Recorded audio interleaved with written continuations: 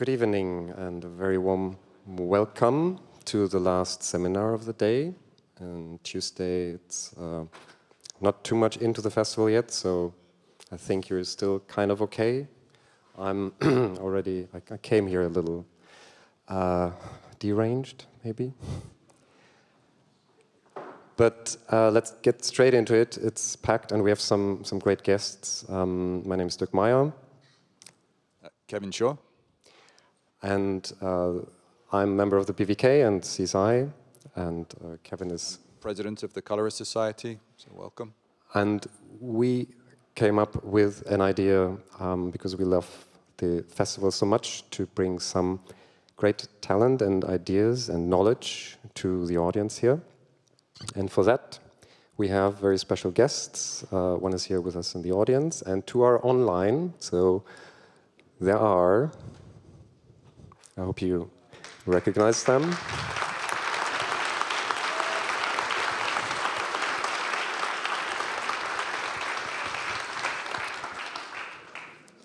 Pascal Marin, French DP, next to me, and I have some.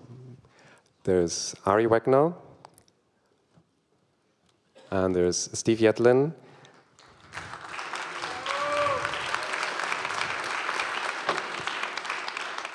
And we're currently spanning a time line, a time difference of 19 hours. Is that correct? Ari got up for us very early, I think. What's what's time for you now? Uh, it is uh, very early, maybe 6.30 a.m. Okay. And you're also already, so she's in Wednesday, she's in the future for us already. So she's, for it's Wednesday already. And Steve, it's about noon, to get noon, right? Yeah, yeah, it's noon here in Los Angeles, just before noon.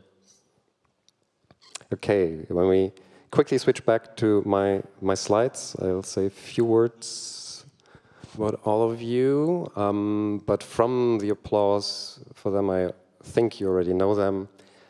Steve Yedlin, director of photography, member of the AC, recently Glass Onion, Knives Out, Star Wars Episode 8. Um, Ari Wegner, director of photography. Actually, uh, the film Eileen was screened yesterday here at the festival because of some other event. I couldn't see it. Anyone who has seen it? Yeah, any feedback you want to give? Yeah, she's not going to see that, but if you cry out, then yeah, I saw a couple of thumbs up, just to let you know. and Pascal, French DP. And you're also presenting on anamorphic lenses. In Camerimage? Yes, here. An another seminar about anamorphic. Yeah. When? Where? Oh, when on Thursday at five in Cinema City. Um, I think it's screening room number ten. You're welcome. Good. Kevin, as you said, um, besides being president of the Color Society, also head of color admission, and I myself am a colorist. I've been lecturing. And um, without further ado, I want to go back about, well, for me it was seven years when I came to Camerimage 2016 and saw a presentation by Steve. Back then it was the resolution demo, but everything kind of started a year earlier in 2015 when he presented this I'm not going to show it completely, but has anyone seen that? Yeah, quite a lot of hands are going up, Steve. For me, the experience a year later, though, but I think it was probably similar to those who have witnessed it, it was quite striking, groundbreaking even. And I told you already personally, but I'm happy to repeat it here on stage. I was so grateful that at that time a EDP came out and objectified the whole discussion of the film look and that a particular capture medium would be the only way to achieve a specific look. there had been so much discussion going on with mostly emotional language since the dawn, basically, of digital cinematography that made it very hard, also for me, my role as a colorist, to kind of have, a common ground and starting point for a real discussion about what a look is. So, who hasn't actually seen that presentation, I highly recommend it. Get out your phones, click on the link that goes to an article on his website. You should first then watch the display prep demo and then read the article. That is actually something that I force till today. Students, some of them here in the audience, I've seen them, during seminars about digital cinematography. And I thought I would actually love to have a talk with Steve about this. What's the situation eight years after, but also maybe discussing a few points that I, like questions that I always get from the students. And I made up my own mind, but um, maybe we can switch over to Steve's Zoom camera and actually start by discussing what do you feel like eight years later? Um, has it changed a lot? Uh, I have no idea. I, re I really don't know.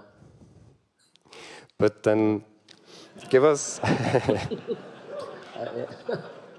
yeah, I mean, yeah, I, I, yeah, I think it, um, I mean, my presentation is actually related to some of the things that have changed that aren't necessarily better, but are just different. But I think, I, you know, I think there's, yeah, I don't think there's one, I mean, I, I can't tell because I'm just my own, I'm just a mm. cinematographer. I, I don't, I'm not like you as a colorist that works with a lot of different people, but from what I can tell, there is just drifting, you know, th- th- you know, you know, there's like, uh, yeah, transcontinental drift kind of things where there's people getting more, m- more superstitious and more zealotry, and then there's other people that are changing, and then there's new kinds of zealotry, and um, yeah, I don't think there's just one big trend. That, you know, mm-hmm. um, things are changing, but not in one uh, monolithic direction. I think, but I don't really know.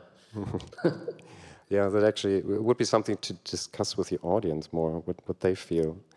But um, one of the questions after having my students read and seen the demo and so on, they still struggle to get grip on the term display prep. Can you briefly, because you have many more interesting things to show yeah. tonight as well, can you, can you briefly just tell, like, how did you come up with this term, why, and yeah, well, it's pointedly supposed to not be technical or narrowly defined. Um, it's just supposed to be just a English language, um, you know, easy to understand descriptive phrase um, to, to break us out of a lot of the superstitions and preconceptions because, because those superstitions and preconceptions are tied to a lot of the, the, the technical or at least embedded language. Um, I, I just wanted to use a new word, like even if another word is correct, I just didn't want to use it because of all the baggage. And so it's just, it's really just meant to, to, to, to, to jolt us out of um, you know, the, the rut of thinking um, that, that, you know, that posits all of these things as important leverage points, except for the one thing that is the most important leverage point um, in, in uh, image rendering. Mm -hmm. And I thought about going more into the categories that you describe for um, image attributes, but I think you'll do that in your presentation anyway. Is there anything to say first, like how this idea with image attributes? I mean, I, I, I can talk about this also for quite a while, but um, since we have you here. Uh, I mean, yeah, I mean, the one thing that I'll say before the, the presentation about it, and, and for the people that haven't read the um, that piece on the website, I think what you're talking about is just the breakdown of um, intrapixel, intrapixel, spatial, and temporal and, um, you know, I never meant for those to be some kind of monolithic or, or to somehow say they're even inherent. It's just more of a, a, a way to, to, to categorize in your mind to, to be able, just to be able to, to conceptualize and wrap your head around it better. Um, so it's just a way to kind of break down what the, um, what the multiple attributes are. And then also when you're thinking about it differently, it helps, it does help understand the pragmatic um, application because anything that's intrapixel, no matter how complicated, no matter what's going on, it can all be packed down into a LUT for, you know, pragmatically for interchange. Whereas things that are spatial and temporal can't be packed down like that. Like even if there's some kind of an, a standardized inter, interchange format like OFX, um, you know, it, it, there, it's still each one is sort of its own thing a little bit. So, um, but yeah. So intrapixel, everything that only changes a pixel in itself, but is, is not influenced by anything around it or where actually the pixel in the picture is, right? Exactly, yeah. In, in, intrapixel means, uh, in this case, it means um, transformation that happens based on only the incoming color of the pixel. So for example, if you're making it contrast, you're, you know, if, if the pixel coming in is dark, it's going to get darker. You know, if you're making it bluer, the pixel, the, the triplet that's coming in is going to get bluer or redder or whatever you're doing to it. Um, and it, it can't be affected by what's around it. So, you know, a flare or halation or grain, the, those are not intra, well, grain can be intrapixel actually, but, um, you know, flare or halation or blur, those are not intrapixel because you have to know what's next to the thing. And, and this concept of intrapixel is not specific to digital. It also applies to film. Uh, it's not the best word because film doesn't have pixels, but there's, you know, film has attributes that are based solely on the, the light that's coming in and exposing it, and then has other attributes that are based on things that are around it in space or in time. Mm-hmm. Okay, I hope that was enough of an introduction, so you can just take off with your Shall we begin? presentation. Okay. Okay, well, yeah, so um, because we don't have very much time, uh, what Dirk asked me to do is I'm going to do sort of a case study of how I develop and go and, and vet um, and reality check my um, image rendering pipeline, both the LUT and the spatial temporal stuff. Um, but because of the time, uh, I mean, it's going to be a very, uh, you know, high view flyover. Um, but the but the one thing that I did want to, the sort of nugget that I did want to dig down a little bit in that I do think we have enough time to talk about and and to speak about in a satisfying way is, uh, and you know, what I want to kind of wrap this whole bundle in is the idea of reality checking and um, you know reality checking to get over placebo effect and confirmation bias.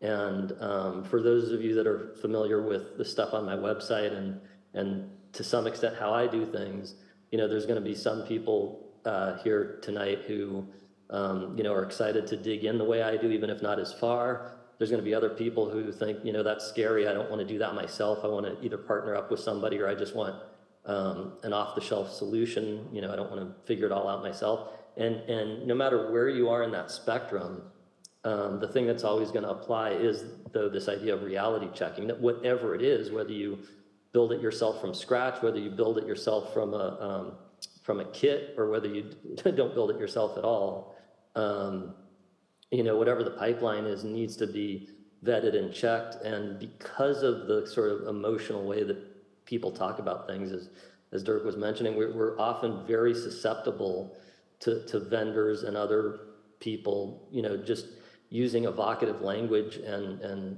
and you know, not actually reality testing. You know, somebody says the word, you know, film is magic, or somebody says that this digital camera gets magical skin tones, or somebody says this camera has a lot of Ks. And, you know, we, you know, we're kind of trained to project what we imagine onto the image instead of, instead of really doing um, a thorough check. And um, so that's, that's when I want to kind of hang this, um, uh, you know, uh, drape the, the whole thing in as we do a quick flyby of um, how I do, uh, how I prep my stuff. And, um, you know, uh, also for the people that are familiar with um, some of my materials and stuff on my website and talks I've done, um, you know, I, I, think you know that I've um, advocated against um, this kind of empty zealotry that's basically just brand allegiance. You know, like, uh, you know, again, I'll just the, you know, whether it's film is magic, whether it's, uh, you know, red has the magic codec, whether it's only Arri has the, the cinematic skin tones, um, you know, or some vendor says, you know, we've got the special uh, color science built right into the sensor. Whatever these things that are meant to be evocative and don't really say anything are. Um, and, and, you know, so, so uh, hopefully, or whatever, there's already some awareness that I've advocated against that. But one of the things, uh, to go back to Dirk's question about how have things changed, um, I think one of the things that's a little bit unfortunate is that there's, there's been um, a growing camp. It's by no means everybody, but there is a camp that sort of uh, superficially positions itself in the exact opposite of that sort of zealotry. Um, you know, that, that basically says, yeah, we don't need, we don't need uh, film or uh, anything special like that because these computers can do anything now. And they have a lot of buttons and knobs on them, so we can make it look however we want. And the thing is that, that take on it actually wraps all the way back. It's not even an opposite take uh, that's problematic. It's actually the same take. It's, it's sort of empty zealotry because um, you, you still have to figure out what you're actually doing. Like the fact that uh, Resolve has a lot of buttons, knobs, and switches on it that can do a lot doesn't mean that you have figured out what you're going to do with it. Um, you know, just like uh, you know, I mean, my uh, my computer keyboard here has enough buttons on it for me to write a great American, the Great American Novel, but that doesn't mean I have written a Great American Novel. You have to actually do something uh, with it, and it's not always easy to figure out what it is and to vet it and make sure that what, uh, what you're doing really is uh, thorough and what you intend. And, um, you know, and what that also means is, and, and, and this goes not only to, uh, I mean, it very much goes to the, the quality and character of our final image rendering. But not only that, it also goes to how do we use our time because our time on set is so precious. We only have a certain amount of time with locations and actors and all the expensive gear and everything. And our time in color grading is precious. And if we, and if we squander it with a lot of um, troubleshooting and what's going on, I don't understand this, and you know, reinventing the wheel for stuff that this is already figured out. Why are we starting from scratch every shot?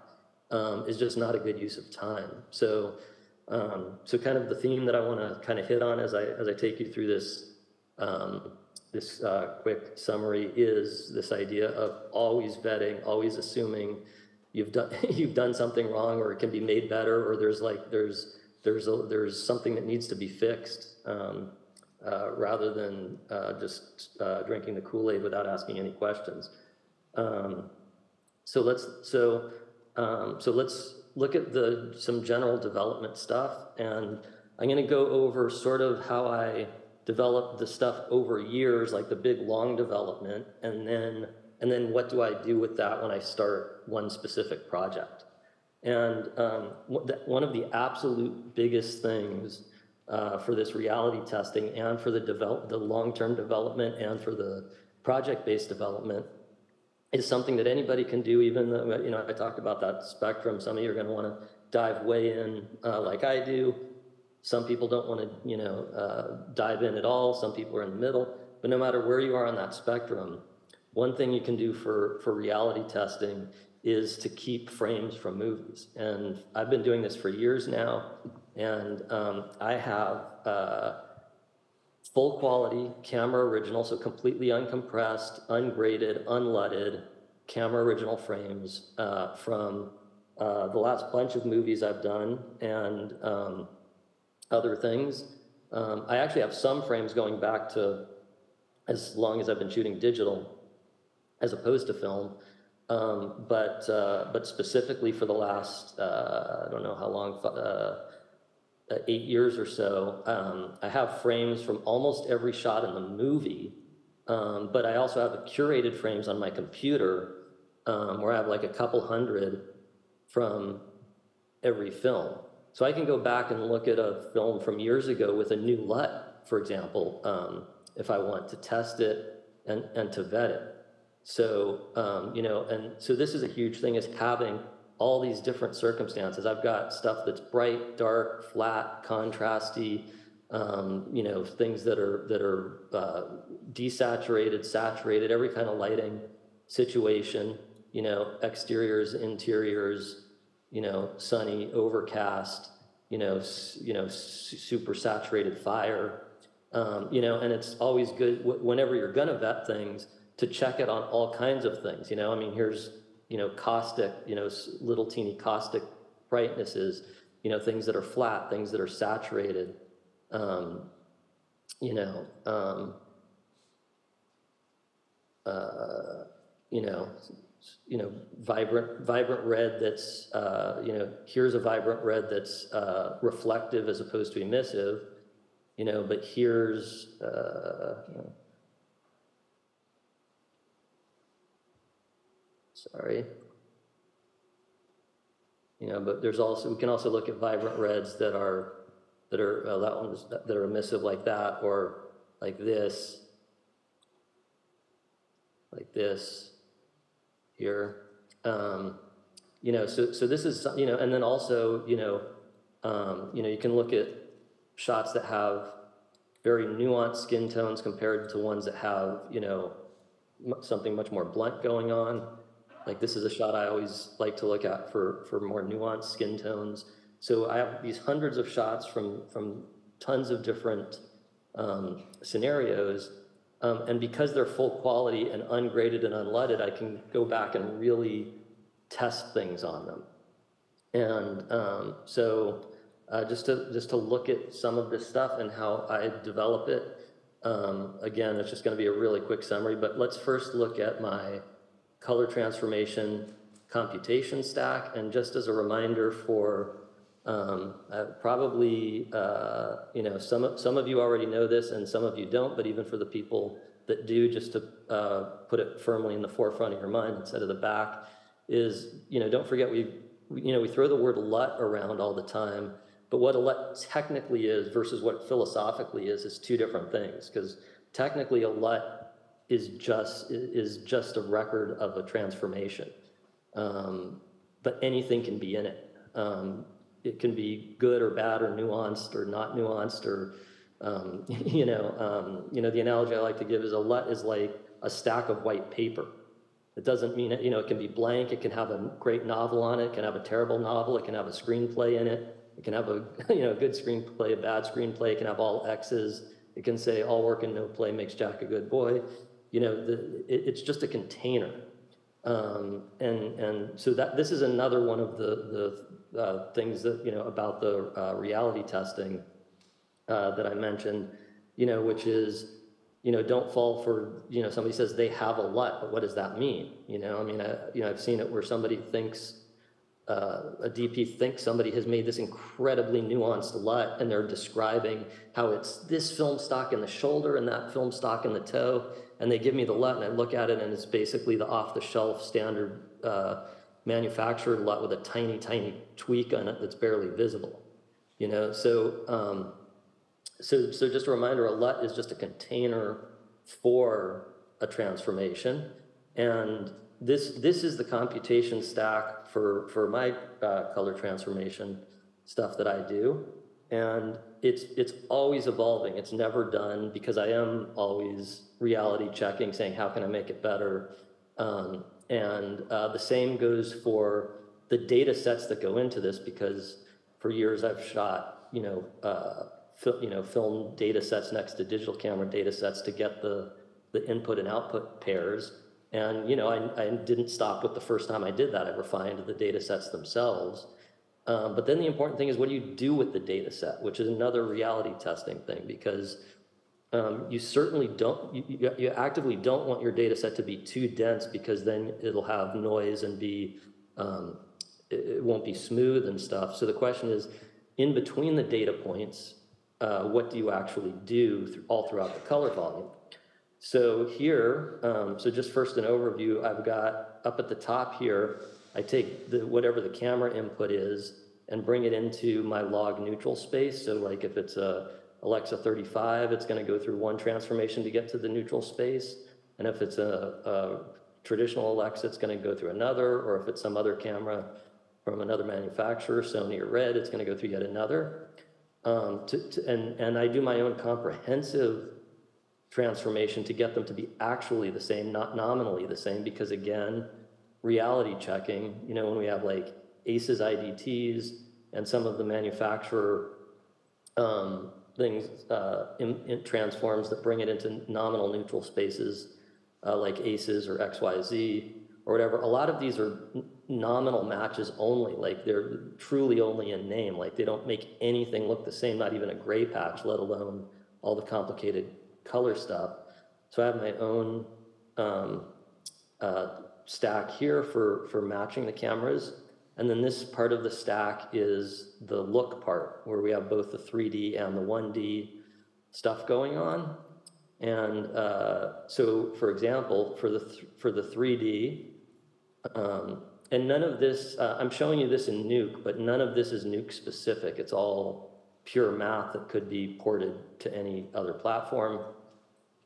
You know, so for example, uh, in this matching part where I'm bringing um, the one camera into the, you know, uh, neutral, same neutral space as another camera, um, for the, uh, you know, there's the 1D part of the matching, the tone, tonal reproduction part of the matching, but there's the 3D, which is this thing, which is my own thing that I made called Chroma Warper, which is like a thousand lines of code here. And um, you can see that it's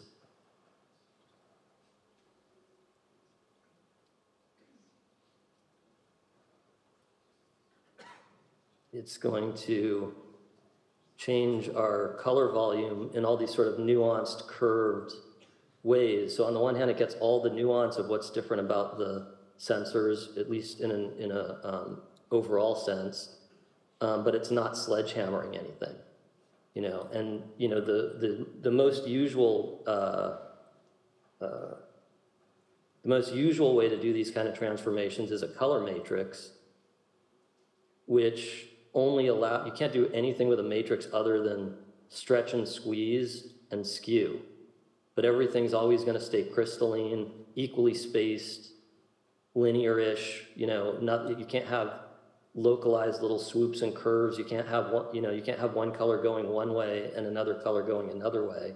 Like for example, you can't have saturated reds getting less saturated, but um, so you can't have highly saturated reds getting less saturated and low saturated reds getting more. All of it's either getting saturated or unsaturated. J- just as an example. So, you know, using something like this is a way to get all of these, you know, additional nuances. And same thing, uh, so that's in the camera matching part. And then, then in the look part, um, I have another thing that's also custom because this thing that I call Chroma Warper that I made, uh, again, real, reality checking, like I didn't just make it and say I'm done. I had kept working on it and working on it um, you know, it's it's designed, although it's nuanced and has all of this stuff, it's designed in a specific way that's better for matching to digital cameras um, while they're still in the uninterpreted original camera space. But down here is the look, where I'm trying to, to um, follow the data set and, the, and also the uh, aesthetic feel of a traditional film print system, where it's not just um, matching to linear sensors um, in, in an, you know, in an uninterpreted space. It's also uh, putting the look on, which, which needs a different kind of curvature and nuance and stuff. So I actually have a different um, thing. So it's a totally different math that also does a similar type of doing complex, swoopy, but not destructive or too aggressive stuff all throughout the color volume um, to match the data set. Um, and then, so, so I, you know, I slowly figure this all out. I'm always refining it. What order do I do it in? Do I do the 3D stuff before the 1D stuff? What math do I use? Um, and, and so forth. And again, always checking it on, um, on all of these images that I have, making sure it does, it's never going to break, it's never going to fall apart. Um, and, uh, and then also looking at it on graphs like this graph, or um, here's a, here's a, uh, here's a, a 1D graph of the tone curve. And, you know, checking, you know, always, again, reality checking, like I make sure that it's all smooth and nothing is gonna break. And, you know, just as an example, there's a, um, uh, sorry. There was a, uh, a, a recent colleague, uh, Avalette from, and this is, this is like a very, uh, you know, this is a full-on Hollywood movie. They're doing everything right. This isn't amateur hour. Um, but, you know, they, their LUT was, when I looked at it, um, uh, sorry.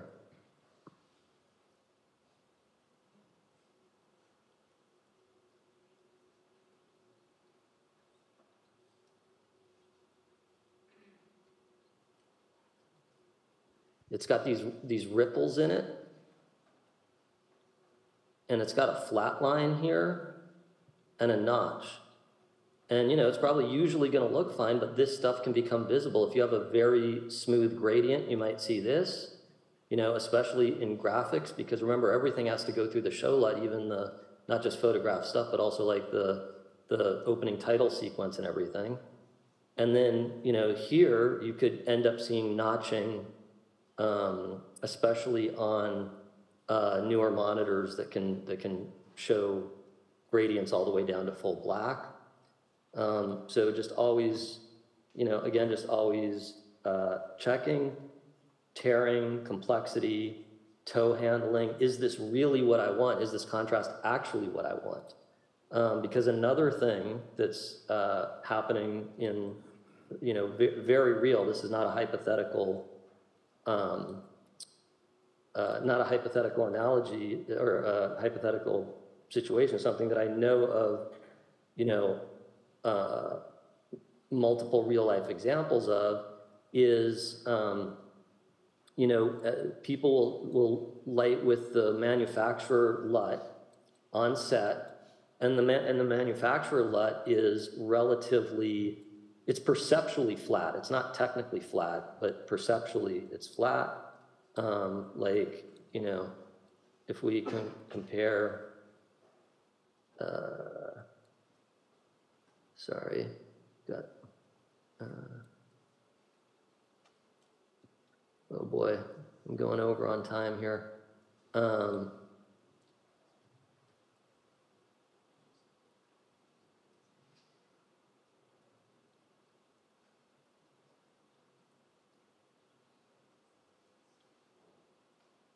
Okay.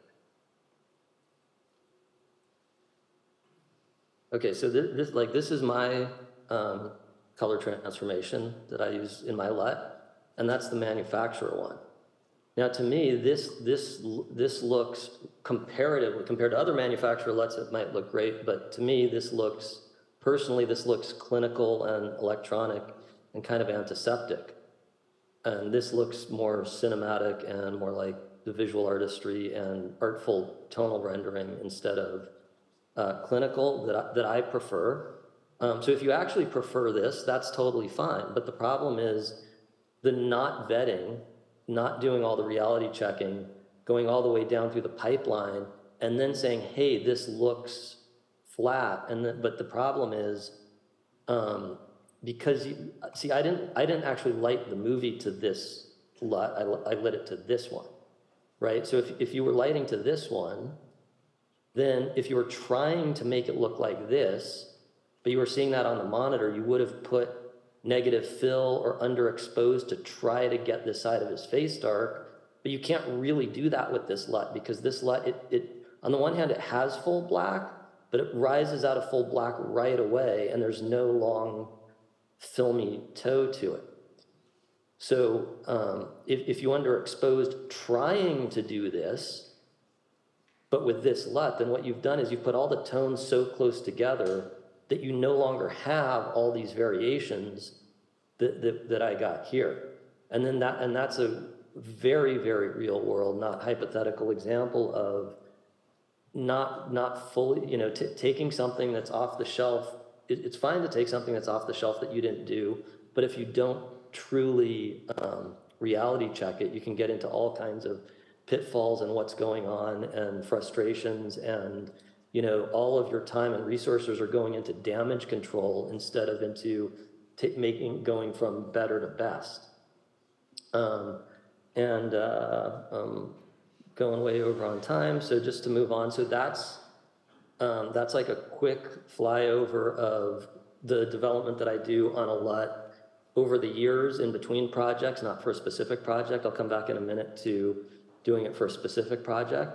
But let's look at the same for um, intrapixel, uh, I mean, sorry, for uh, spatial and temporal stuff.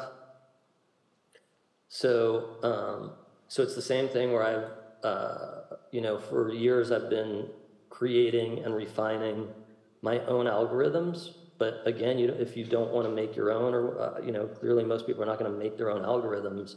But that doesn't mean you can't vet the algorithms that you are going to use because what we're, the whole, my whole point here is just because somebody says something, does something, somebody says the word uh, film print emulation doesn't mean that automatically your movie's going to look like it was shot on shot on film and printed in a traditional photochemical system just because somebody said the word um, uh, film print emulation. You have to actually vet things and see what they're doing.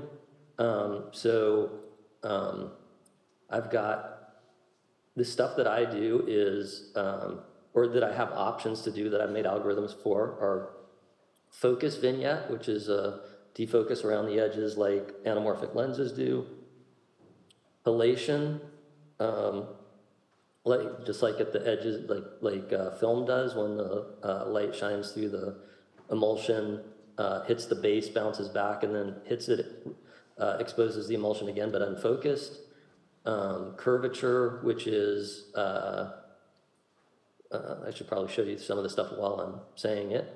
Um, but, uh, you know, so the, the curvature is similar to anamorphic, the way that anamorphic lenses are not rectilinear, but, uh, you know, straight lines appear slightly curved, um, and film grain.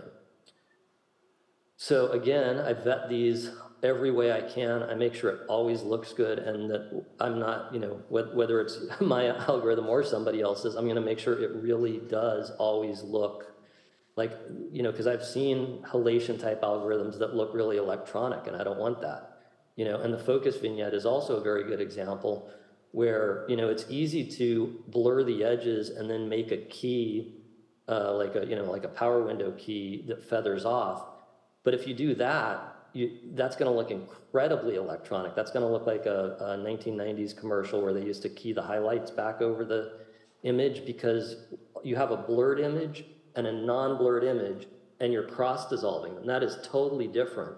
A gradient that's a cross dissolve between uh, uh, defocus and not defocus is totally different than a gradient that's just different levels of defocus at every point um, in the in the thing, you know, at every point in the in the gradient. So this is this is a really good shot for vetting the focus vignette because it's kind of a worst case scenario where you know there's a lot of shots where somebody's head is in is kind of in the middle and everything all around them is blurry so you can't even see the focus vignette but in this shot our main character is uh, fully in focus he's at the bottom of the frame, and not only that, but we have a vertical, you know, very strong vertical of his legs being dark compared to the background. And you can see what the focus vignette's doing. You see, can you see that?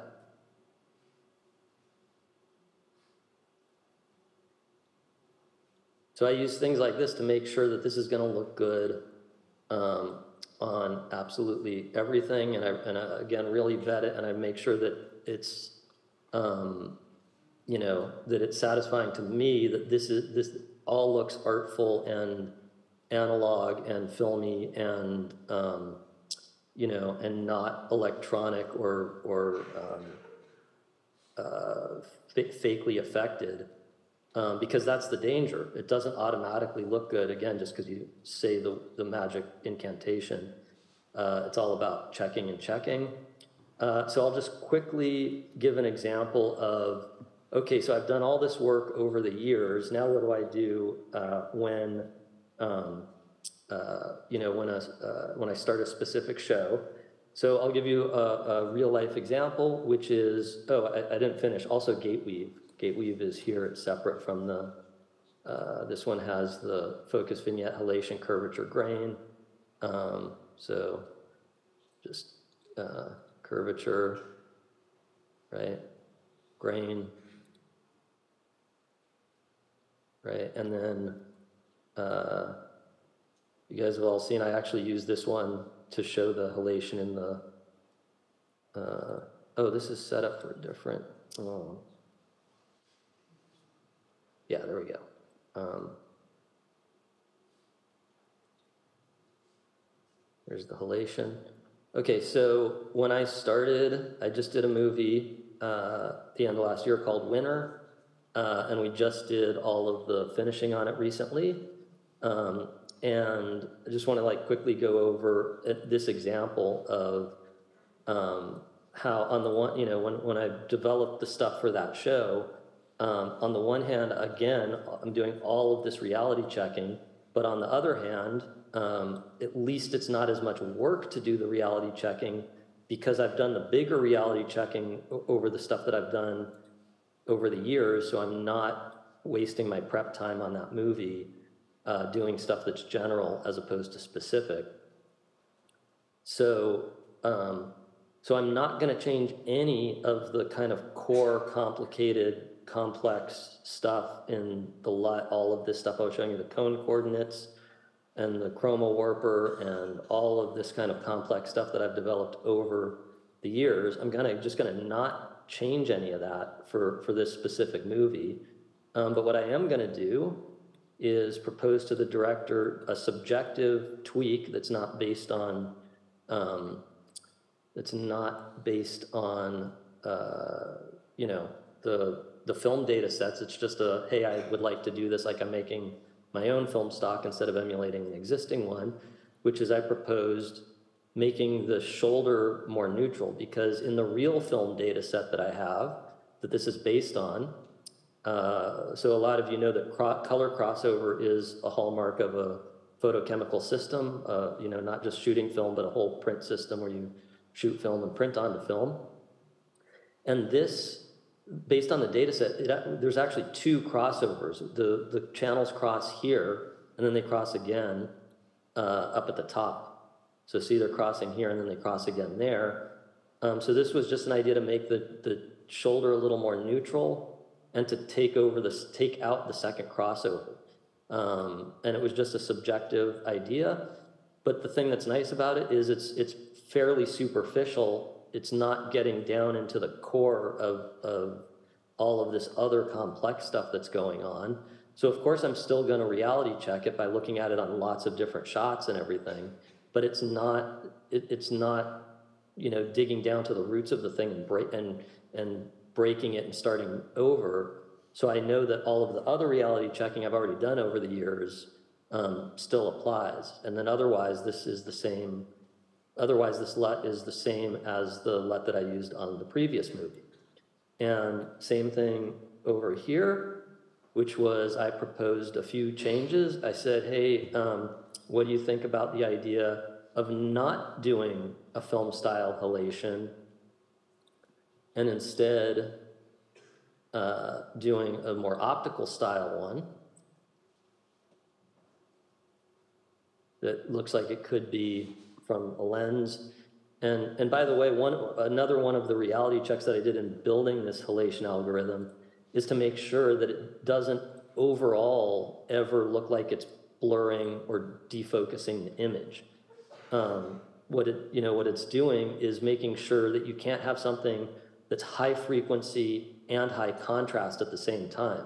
But it's not any kind of an overall uh, defocus because I don't want to, because you see if I just turn it on and off here, it doesn't look like the image is blurring or anything. But I'm sure you'll probably see it. Oh no, you can't see it very well on that one. We need something more sharply defined.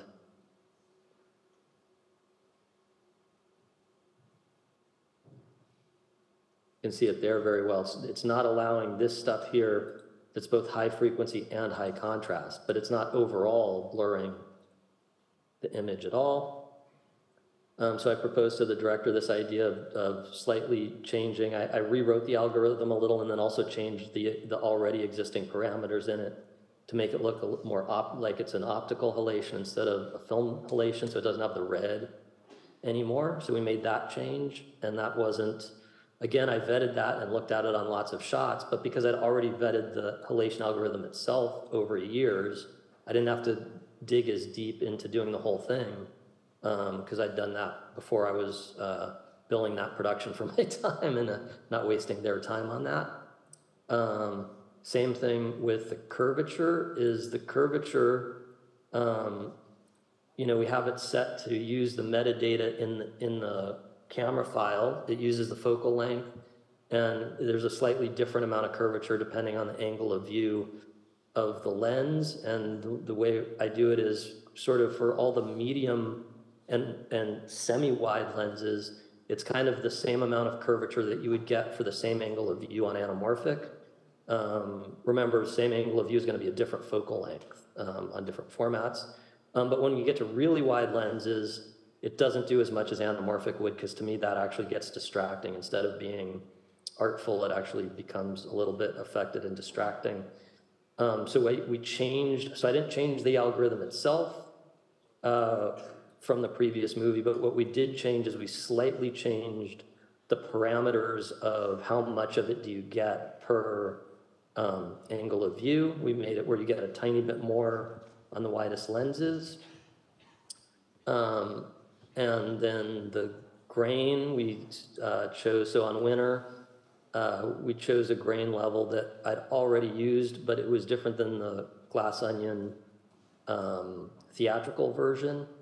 Uh, so that had already been vetted. And then we decided not to do the gate weave at all. Um, so obviously we don't have to vet not using the gate weave. Um, and uh, so uh, sorry to make that part of it so quick, but uh, uh, I think I'm already longer, way longer than we're supposed yeah, to be. slightly. Mm -hmm. yeah. so um, yeah, that's uh, that's pretty much it. And and you know, so the so again, I, you know, hopefully the main takeaway here is no matter where you are on that continuum, you know, th that I mentioned, you know, don't forget that this stuff actually happens no matter what right? It's just, do you have anything to do with it? Are you, are you involved in authoring it and checking it and rea- you know, reality checking it and vetting it, or are you just sort of letting something happen to you? Because I've had people say to me, why do you do all this stuff? Why don't you just shoot film?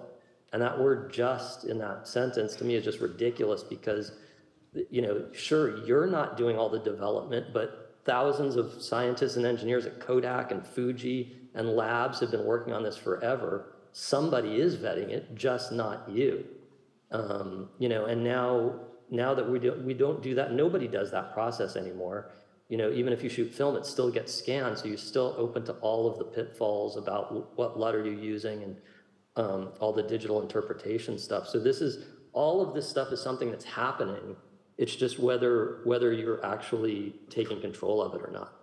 Um, so hopefully this is. Uh, you know, inspiration to to, to uh, get involved in that no matter what it is, whether it's you want to do it yourself like I do, you want to partially do it yourself where you get components and make it, you want to collaborate with a color scientist at a post house, or even just using off the shelf stuff, but being really rigorous about, about checking and vetting and, and making sure you're not um, falling victim to placebo effect and, and um, uh, confirmation bias.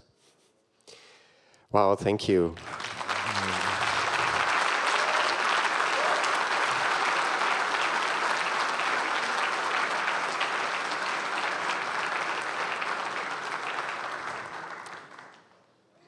I just thought, did you ever meet Christopher Nolan and have a chat about doing everything photochemically?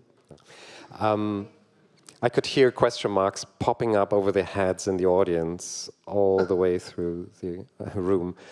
But I would love to keep your questions for the end, where we hopefully still have some time for that. Um, uh, yeah, thanks. That was absolutely great and uh, such an attention to detail. Um, Ari, perhaps you could give us, share with us how you approach the look, but step back a little bit and relate how you go about um, linking the look development with the content um, of your project. Oh, sorry. Hi.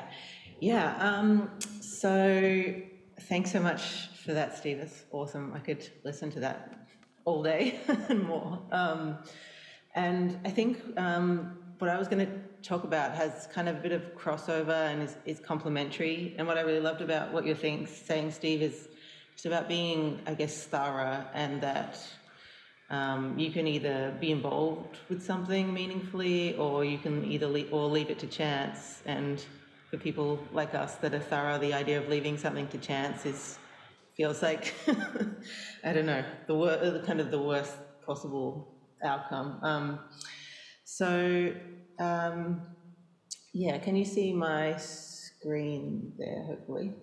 Um, so basically, um, a few years ago, I got asked to do a, a, kind of similar talk and to share with students some of my um, some of the processes I go through, some of the things I think about in prep. And so I made this big kind of document, um, which um, you guys will have access to. It's basically it's a it's not a full list, but it's kind of just and it's not in any particular order, but it's it's just a long list of all different things that um, I guess they're variables or they're some of them are um, things like framing and color. Other things are more like um, I guess more like storytelling type um, type things. Anyway, it goes on and on, and I kind of occasionally add to it or, or update it. Um, and I encourage students to kind of add their own thoughts. But um, I guess I don't really refer to this list myself. This is more kind of inside my mind when I'm, I'm starting to prep. Um, so I thought I'd just go through, um, yeah, I guess my my uh, philosophy or the way I think about prepping a, a film um, on a a less technical, um, the other side of it from what Steve was chatting about. Um, so I thought I'd just kind of touch on briefly, like why, you know, again, why bother with all this stuff um, if it's not obvious? I mean, we're all pretty passionate about it, given the audience we've got here today. But I mean, I, I enjoy it obviously a huge amount. Um, but I think overall, like a look, it gives so much information to a viewer about um, the atmosphere, the tone, even kind of the budget, you know, whether you're going to manipulate that to make something look more expensive than it is or, or look like more lo-fi than it, than it really is. Um, how serious, I guess, the film is, um, and sense of place, and basically you're kind of manipulating a viewer's experience, and ideally for me, what I love about film, one of the things I love about film is it's kind of like time travel, and hopefully someone watching it will kind of go into a cinema or at home and, and kind of disappear into this world you've created for them. So I really think the look has a huge part of that, um, huge amount of the ability to time travel. It's going to be something different than what we see, you know, when we take a photo on our phone or just in our day-to-day lives. So it's manipulated, which is satisfying to watch because it's kind of escapist experience. But and then I think number one, it's kind of it influences the viewer emotionally. Um, it's kind of obvious to say, but um, and I think it's important to understand that because you're going to take someone on a journey and a very specific journey that has to do with your script and your characters. And, and I guess for these reasons above, I would say that um, just because you love the look of another film um, you can't kind of hope that that look will work for your film because uh, those every film has got different priorities and different um, what it's trying to do to a viewer. So yeah, uh, a look from another film is not going to work for your film, um, and so I'll go through kind of how today how I kind of yeah bring uh, get to that to that point. Um, um and then kind of what contributes, and I would argue that everything in frame contributes to the look. Um, not just what we do, um, but the design, the locations, absolutely everything. And, and I think they actually contribute in equal measure. So um, written here, like, I'd argue that the color of, or like the type of car in the background of the film has, has equal kind of weight and influence on that information and that experience of viewers getting just as much as the lenses you choose. Each of those kind of elements or bits of information that we are kind of unconsciously ingesting. Um, and um, I think, uh, yeah, I would definitely agree with with Steve in that there's a lot of thought kind of given to the the camera body or even the the lenses, and and often that's um, yeah a little bit of kind of marketing and a little bit of uh, uh, yeah, I think we'd all like to hope if we use a particular camera or a particular lens, then our film's going to look a particular way. But actually, I would argue that they're kind of one of the more minor factors in um, in the overall final result and, and the viewer's experience. Um, and so, yeah, if everything contributes, which I believe it does, um, it's also our responsibility as a DP to kind of communicate and, and be part of a bigger conversation about uh, with the designers, production designer, location scout, VFX supervisor, producer, anyone that's kind of, um, well, I guess everyone on the film is involved with how it's looking. So um, this conversation is not one you can have in a vacuum with the director and hope that you're going to get the result you want because, uh, yeah, I think it's obvious to say that uh, just camera department or you alone will not make the look. It's going to involve communication, and and part of that communication is not just saying what your ideas are, but but hearing back the, what feedback you're getting from other people's ideas and and whether or not that idea is going to be possible in the situation you're in. Um, and really taking that on board, I would say, to not, um, you know, by no means kind of let you get self get pushed around by someone, but also um, accepting the reality that you're in as soon as possible. Um, and because not every look is possible in every situation, but I think a good look is possible in every situation. You've got to find the the right look for both your script and the resources you have. Um, and that's really important for me as well because I am big on a kind of harmonious um, set, and um, you want to avoid at all costs kind of putting your vision for your look on a collision course with your budget or your um, schedule or even the director's kind of priorities. So um, very much not the vacuum. Um, so then I started thinking as well about this idea of a look. Um, and I guess I would say I don't, when I'm prepping a film, I don't even really, it's not a look that I'm trying to um, build or, or, conceive of. It's kind of, that's one aspect, but it's, for me, it's more of a philosophy of how we're going to shoot this film. Um, and I think a, a philosophy is more of a, it's a more powerful concept than a look in a way because it's how we get to the look. The look will come. Um, I guess it, yeah, it will, it'll come via the natural things that happen when you, when you kind of think of these guidelines that, or, or a philosophy. And the great thing about a philosophy as well is, is it's going to be able to answer your questions that are going to come up as the film shoot goes on. So um, for me, what is a philosophy? It's kind of basically what we do or don't do on this film um, based on um, yeah, what we want the viewer's experience to be and that journey they're going to go on. Um, yeah, the the restrictions, um, all those things that directors' natural taste, um, and they're kind of going to be a, a, kind of hope or a rule um, that, for example, yeah, we we hope if we do X idea that for the viewer that's going to create X kind of experience. Um, sort of show an example is from that choices list um, about that, um, the philosophy.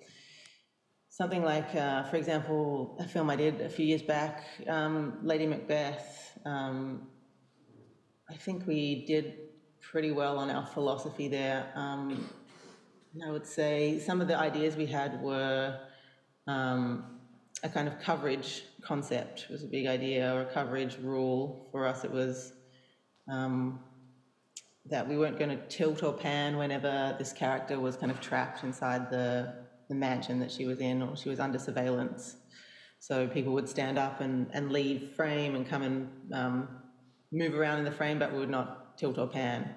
And then when she was not um, being surveilled, um, we would go kind of the opposite direction, handheld, move with her. Um, and yeah, we'd always put the camera at her eye height if possible, um, and put her in the center of frame where possible. And we also didn't see, we decided not to see the outside of the location we're in, only the inside, in the same way that um, a prisoner would not see the outside of the prison. Um, so there kind of, that would be the concept, and, and the reason behind doing that was that um, we wanted to create a really strong alliance with the viewer to this character um, as early on as possible because uh, later in the film she starts to do some kind of very bad things. And the experience we wanted for the viewer was to attach themselves to this character, feel like they like them via these um, kind of concepts we had. So they're attached to this character, and then at a certain point, the character that they love starts doing bad things, and that creates the feeling that we wanted for the audience, which was like, Ugh, I don't know how I feel about this person that I really like doing things I don't like, and and obviously there's a lot to do with the performance and script and that uh, uh, helping that, but um, in order to support that, we um, were some of the ideas we had um, to do that, and also about the reality we were in. Um, we, truth be told, we didn't have an exterior of that location that worked. The interior was great, but it was a location where the exterior didn't, uh, it wasn't perfect. So we, um, again, there's a there's an example of how the reality of the situation you're in, you can kind of take that and use it as a strength. Um, we also only had four weeks to shoot, so we shot very minimal coverage, which kind of became part of our concept or our philosophy to shoot the shot, shoot every scene in the bare minimum number of shots, kind of usually about three shots per scene, um, and that um, was one of the philosophies we uh, decided to do, and also worked for the schedule because we had very little time. So I guess there's a few examples of how um, uh, the ideally those choices that you make in that big long list they'll be both going to work for the script and for the reality you're in and sometimes a challenge that you come up against um, you can kind of embrace it grab it and make it part of your philosophy that's going to help you out um, another thing in that film we couldn't afford uh, I don't think we could afford a dolly or a, a dolly grip, so we decided not to ever move the camera at all apart from handheld. So, um, and uh, yeah, I'd say it's a pretty strong look. Um, those decisions are pretty strong, um, pretty visible, but um, uh, I think they, yeah, that was one I would say was was a success. Um, and yeah, so just to reiterate that of all these choices that are in that list, the camera body itself and the lenses, I think they're pretty, for me, um, they're not the most influential um, in how your film will look. And that's not to say I don't. I love um, the, I love lenses and I love cameras, obviously, but um, they are part of a bigger ecosystem. They're not king in the um, the kind of hierarchy of influence, I would say. Um, so yeah, I just thought I'd touch on how I kind of personally prepare. Um, yes. Um, yeah, it's funny. Um, we don't really get to DPs don't get to uh, see each other work very often. So to be honest, I have no idea if this is stock standard, totally boring, or interesting in any way, but um, maybe everyone's doing it differently, maybe similarly, but um, I guess I'll, yeah, oh, this is how I do it. So, well, thank you. um, obviously, um, reading the script and talking to the director, um, I'd say most directors would come with some some kind of ideas about how they want the film to look, or what their natural taste is in general. Um, but aside from that, in these early talks, or, or, as I'm getting to know a director, I'm really trying to find out um, what's their, what do they love, what do they fear, what do they, what's their worst nightmare, what's a great day on set look like for them, what's what's a what's the situation they most fear getting into, and and you know you might be asking yourself, what's that got to do with the look?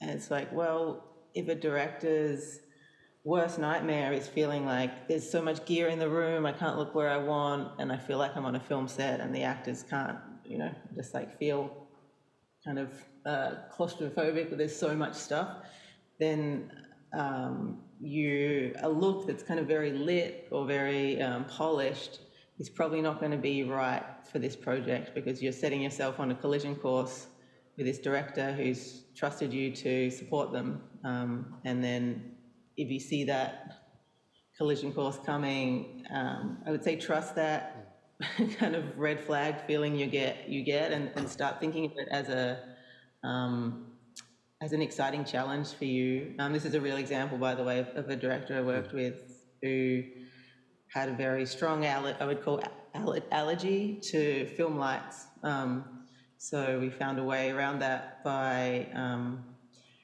he was very supportive of finding locations that worked for natural light and, um, and, and, and was very disciplined in his time of day. He wouldn't kind of go over time knowing that the light in this location is going to change or get bad at a certain time, or we can only shoot here during daylight. Um, and then a lot of built-in lighting that I worked with the art department to build um, pracs and kind of strip lighting and going around the top of curtains and basically anywhere that we could add light to have the option later. And I think on the whole, I maybe used one film light one day where we really um, ran out of time um, outside, not inside. So that's um, kind of a cue for me. Yeah. because we're running out of time here okay. as well. Sorry. oh, yeah, no um, Thank you very much. Um, it also touches upon topics that we um, started to discuss before here with Pascal, like before the session. But um, can we go to my presentation because that handout that you've seen wasn't, yep, wasn't yet shared uh, with all of you, but you can have that. It's eight-page PDF, camera choices. Maybe you should have put a watermark in there. I expect this note to float around the internet forever. There's nothing magical about it. It's just, yeah. uh, you know, yeah. obvious bits and pieces. Yes, and I um, talked with some, some mentioning it that they had similar lists and similar to the image attributes that Steve mentions on his color science article. I believe the most important thing is that you come up with these kind of lists and build your own vocabulary build your own terminology, how to describe images, how to describe a look, and so on. So um, with a few minutes left that we have, Pascal, give us a quick introduction of what kind of projects you're working on and how, what do you take also about these different approaches? I mean, we had a very kind of narrow look in the image processing pipeline in Nuke that Steve built for years. We had a little broader perspective on how to approach a project with a director. Um, how does this apply to your line of work? Well, I work on uh, on features, usually low budget, often first time features for the directors. Uh, I also work on documentaries and uh, and some some short films also. And um, I can rely very much about what Ari said. But I would say that the discussion, when it's a first-time director, are um, uh, maybe not more precise, but they take longer because I have to extract the, the, the relevant information to build the look. They don't always have the, um, the vocabulary, and so it's almost like gold digging. I have to, to make uh, a very um, I have to be a very careful listener to get rid of all the irrelevant information.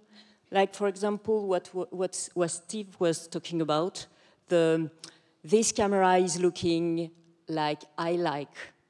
It's something I can hear a lot, and I know it's, I, I know it's not true.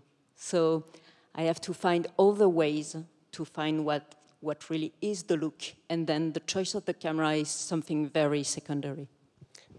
And how do you try to find out? Can you, in that, pro- or on the projects that you do, create like, um, do you do what I like to call these days look tests? Because it's I try to. many projects more than just the hair and makeup. Because in the end, you also got to do the. Uh, we only should test lenses, but in the end, you're supposed to do as a colorist a lookup table for the whole show with that. Yeah, absolutely.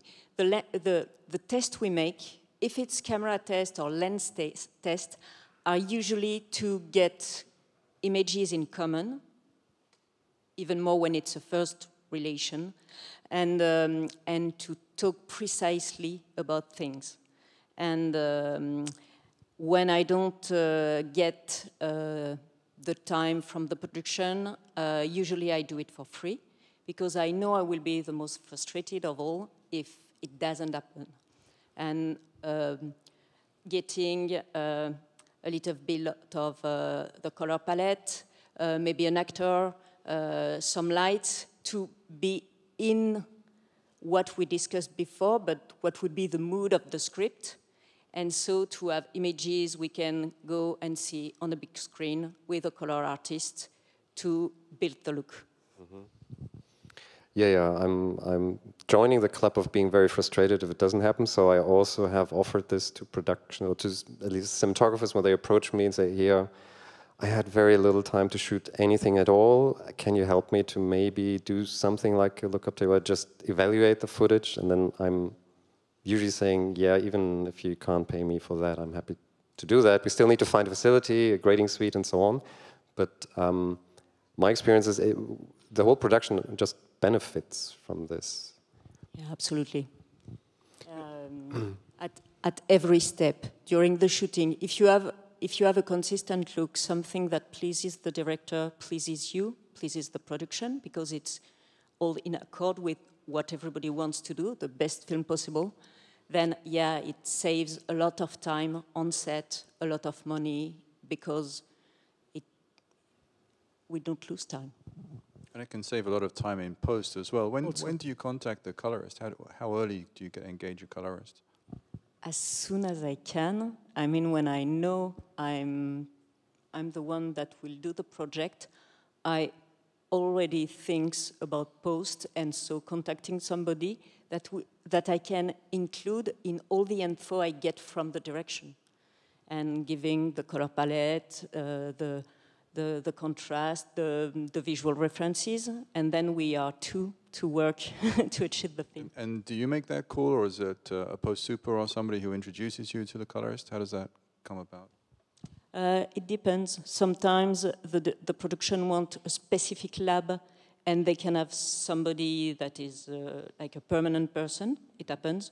But some of the time it's a freelance and then I get to choose. Okay, cool, cool. And uh, what about the director? How involved is the director in terms of the, the technical details? Do you, do you share those as well?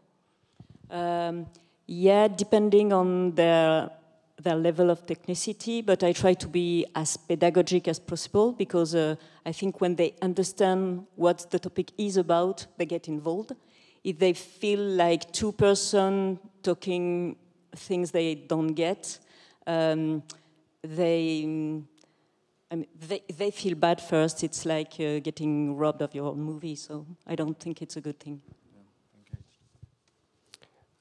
I like to pose that question also to Steve and Ari. Actually, when and how do you start collaborating with a colorist? Is it similar for you?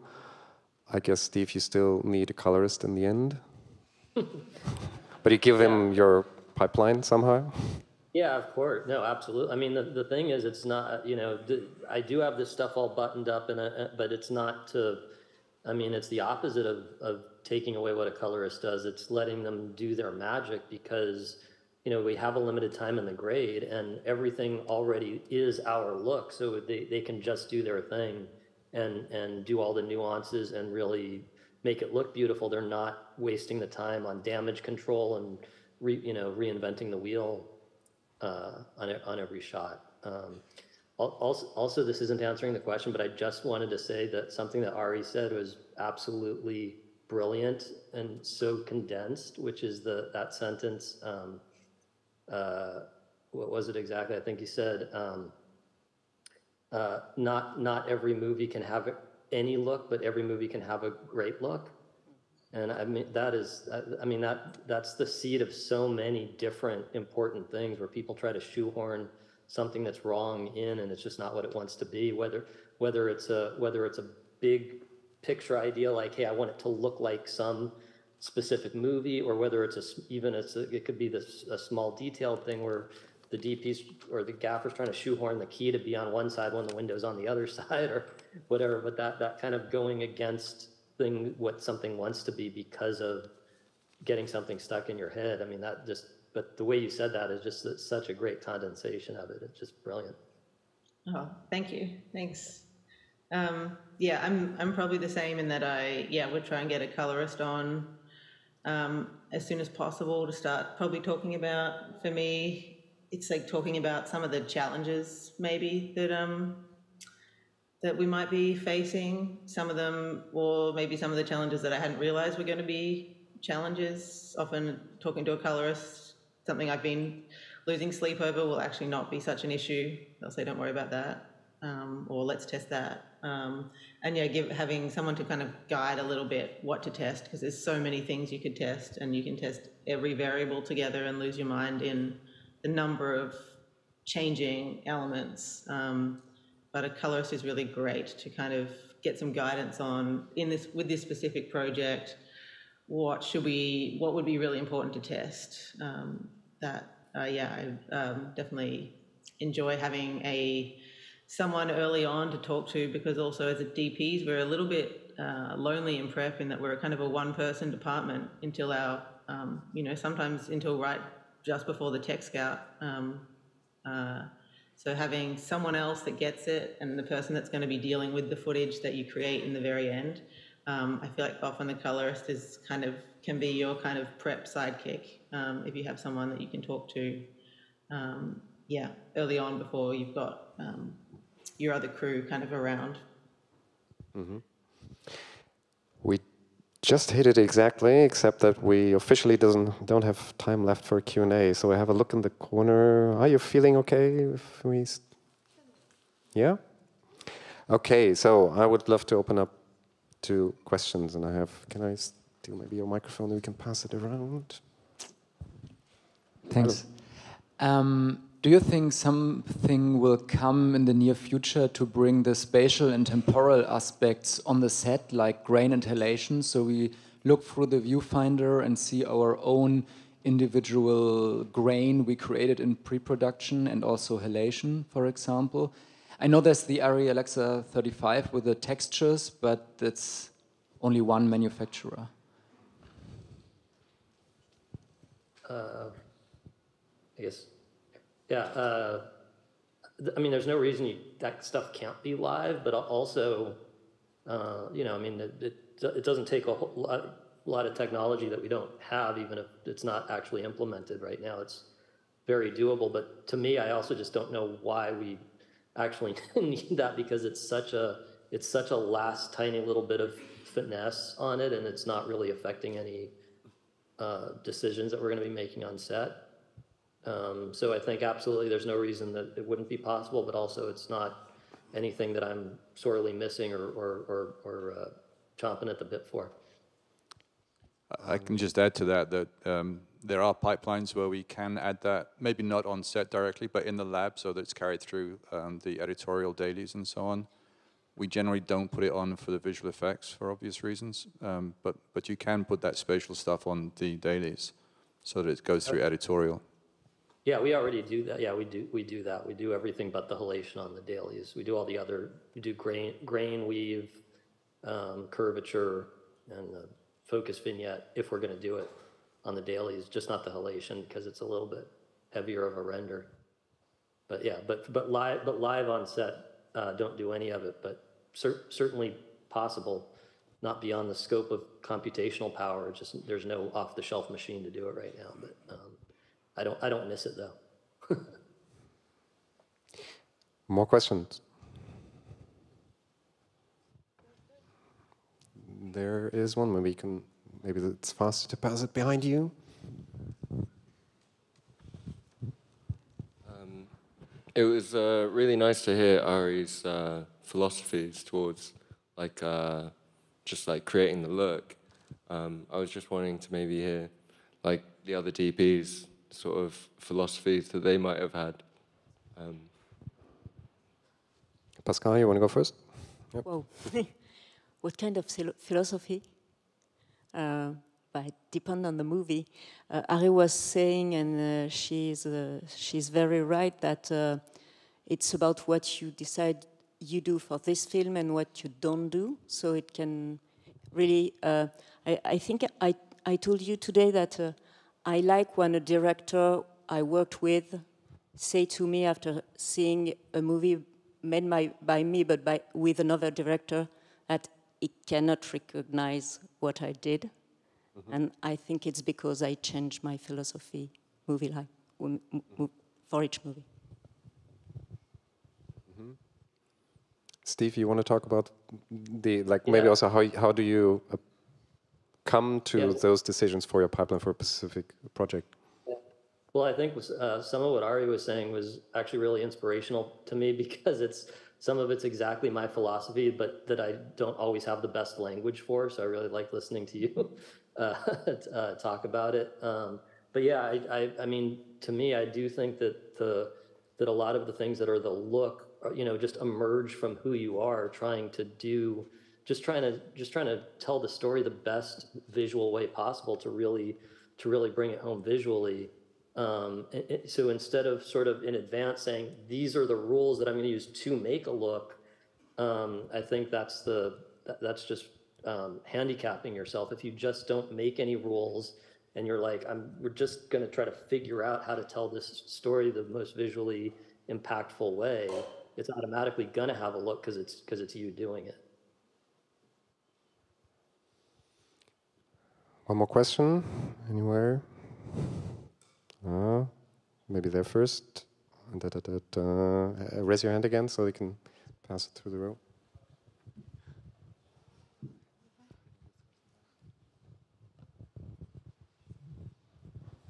Hi there. Nice to see you at the presentation. I would like to ask you, it's more maybe a, uh, a question for the set, when you work on the set. Uh, if you see some kind of lighting, if you right now on the set say, oh, that's going to work with my workflow or, oh, that's not going to work?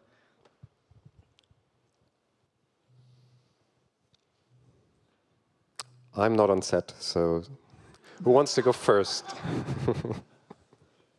uh, I mean, I, I, don't quite understand the question. Uh, what, do you, what, do you, mean by work, okay. lighting and workflow? Yeah, because I work like a gaffer, so I'm asking about the lighting. So if you have in mind some mood or whatever you said uh, with the gaffer some lighting and you see on a set mm. the picture and you said right now on a set oh that's not gonna work in the post-production or ah i can do it in post-production oh.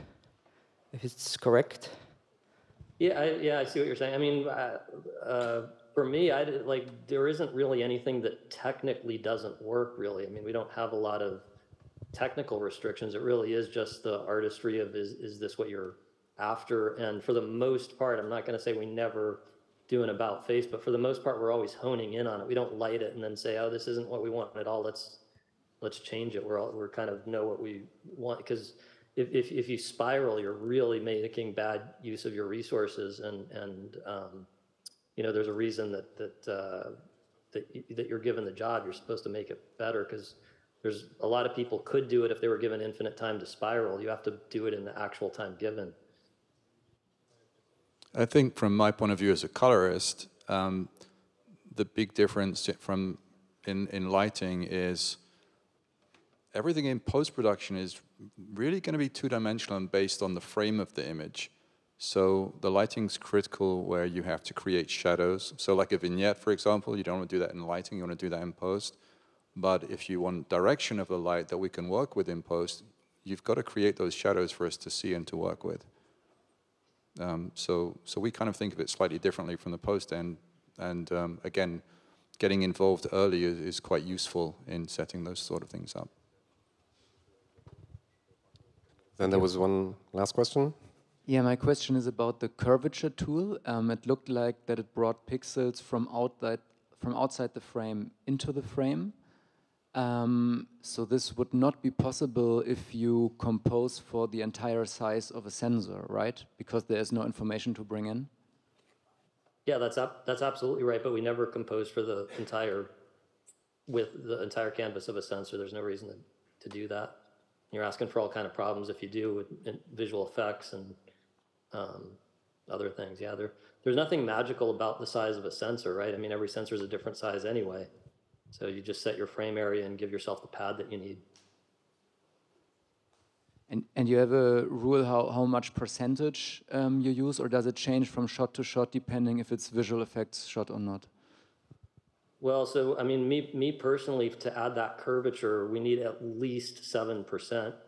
So what, what I tend to do is, you know, when when we have a bigger canvas, like you know, it just dep- it just depends on the project and everything. But like if we're shooting open gate on an Alexa LF, we might have a bigger pad on all the normal shots. But then if we do, you know, a high speed shot at 200 frames a second on an Alexa Mini, we might only have the pad we need and no additional pad.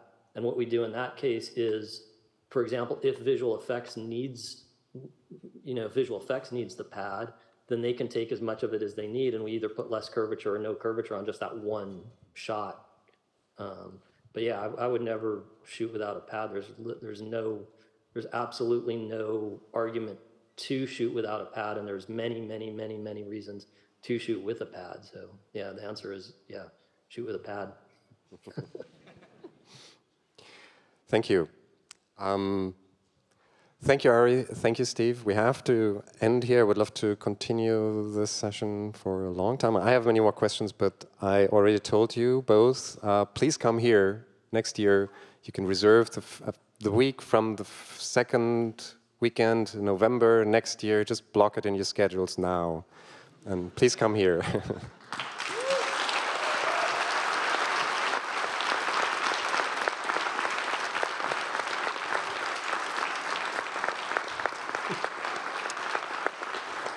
Thank you, Pascal. Thank you, Kevin. And uh, thank you for your attendance.